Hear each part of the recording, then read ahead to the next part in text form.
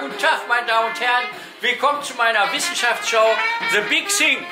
Heute auf besonderen Wunsch aus aller Welt, der Zaunpfahl.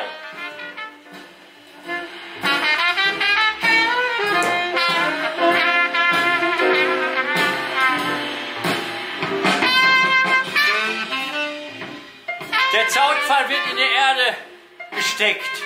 Da kommt der Zaun dran.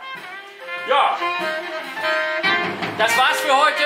Wir sehen uns ein andermal wieder, wenn es wieder heißt The Big Things mit Dr. Helm Schneider. Tschüss.